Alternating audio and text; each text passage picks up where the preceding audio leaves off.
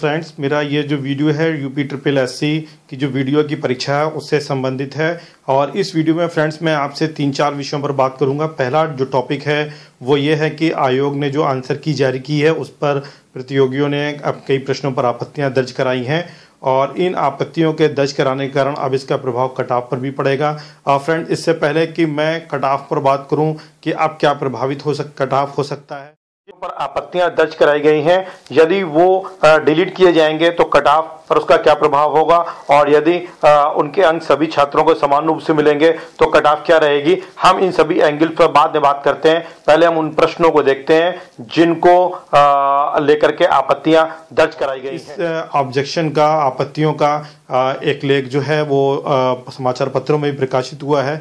मैं उसी के माध्यम से आप तक उन प्रश्नों को पहुँचाने का प्रयास कर रहा हूँ। जैसा कि सीरीज़ बी एफ़ है, उसमें क्वेश्चन नंबर थर्टी वन पर आपत्ति है। और इसी के साथ क्वेश्चन बी एफ़ सीरीज़ का क्वेश्चन नंबर जो ट्वेंटी थ्री है जिसमें संज्ञा वाला प्रश्न है, आसमानी, नियमित पाश्चात अनुशासन में कौन संज्ञा है? इसमें आयोग ने अपना आंसर जो है डी माना है, लेकिन प्रतियोगियों ने इस प्रश्न पर भी आपत्ति जो है दर्ज कराई है। और इसी प्रकार सीरीज़ एडी में जो क्वेश्चन नंबर चार है कि अध्यक्ष में कौन उपसर्ग है, इस पर आपत्ति दर्ज कराई गई है। एडी सीरीज़ में ही ज़िंदगी में कौन सा प्रथ है, इस पर आपत्ति है? कुल मिलाकर के पाँच प्रश्न हैं। कई प्रश्न और भी हैं जिन पर आपत्ति दर्ज की जाएगी, ऐसा मेरा मानना है। फ्रेंड्स मैं आपको इन प्रश्नों से संबंधित एक बात स्पष्ट कर दूँ कि जो हिंदी के विशेषज्ञ टीचर हैं उनके पॉइंट ऑफ़ व्यू से ये प्रश्न जो हिंदी के हैं, जिन पर आपत्ति दर्ज की गई है, या तो ये डिलीट किए जाएँगे, या इनके अंक सभी प्रतियोगियों को समान रूप से मिलेंगे।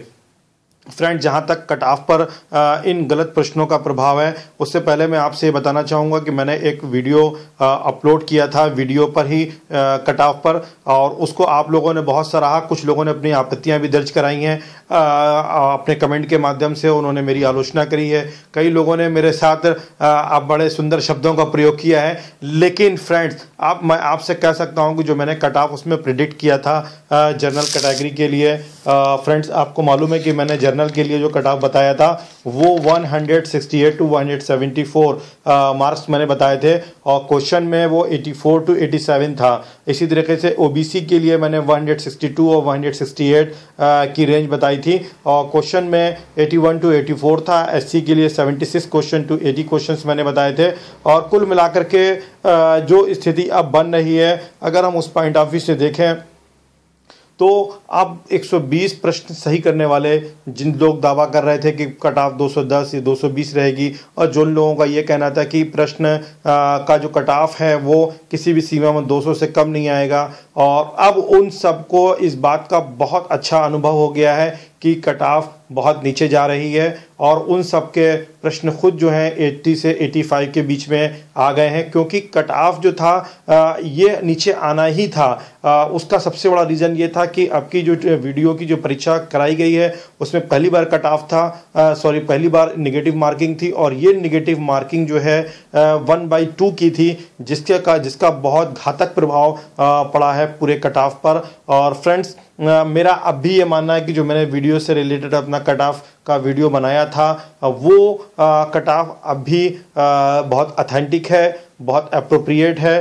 फिर भी मेरा अब ये मानना है कि अगर हम सालवर गैंग के भी पॉइंट ऑफ़ व्यू को इसमें कंसीडर कर लें तब भी ये कट ऑफ़ जो मैंने मोटे तौर पर बताया था, वही रहेगा। बल्कि अब मेरा अपना ये जो अनुमान है, वो एक या दो अंक और कम हो जाएगा। आप मेरे पुराने वाले वीडियो को देख सकते हैं, उसमें मैंने सभी वर्गों के जुड़े हुए कट ऑफ़ बताए हैं। और अब उसमें भी एक से दो अंक की कमी हो सकती है। जैसे कि मैंने जर्नल के लिए जो कट ऑफ़ बोला था 84 टू 87 बोला था, ये 83 टू 86 तक भी हो सकता है। और ये टोटल प्रोजेक्शन है प्रिडिक्शन है बेस्ड ऑन एक्सपीरियंस है पेपर का जो स्टैंडर्ड रहा है आ, उस पर हम बात कर सकते हैं। आप रीजनिंग के पेपर को देखें कितना आ, वो आ, टफ से अधिक लेंथी था। कई लोग पूरे पूरे प्रश्न भी अटेम्प्ट नहीं कर पाए क्वेश्चन सॉल्व कर सकते थे but it was very lengthy paper और अगर हम जीएस की बात करें, जो जी क्वेश्चन थे, वो भी टफ थे।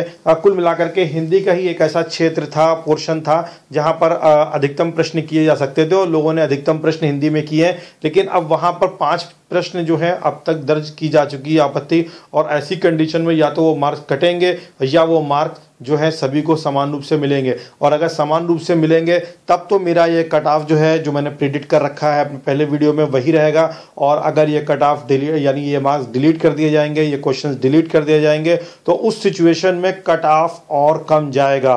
ये आप बहुत ध्यान से सुने, ये बहुत ही इंपॉर्टेंट बात है कि अगर ये हिंदी के जो क्वेश्चंस हैं, जिन पर आपत्तियाँ दर्ज कराई जा रही हैं, अगर ये हिंदी के प्रश्न डिलीट कर दिए जाएँगे, इनके मार्क्स सभी को नहीं मिलेंगे तो इस सिचुएशन में हिंदी का जो रोल है वो कट ऑफ़ डिसाइडिंग में थोड़ा कम हो जाएगा और ऐसी कंडीशन में कट ऑफ़ जो है और नीचे जाने की संभावना होगी। और अगर कट ऑफ़ हिंदी की ये जो अंक हैं, वो कट ऑफ़ में, यानी यानी वो वो मेरिट में जोड़े जाएँगे तो उस सिचुएशन में आप मान सकते हैं जो मैंने कट ऑफ़ का वीडियो पहले बनाया था कट ऑफ़ उसी रेंज के अंदर रहेगा कट ऑफ़ उससे अधिक नहीं जाएगा। Thank you so much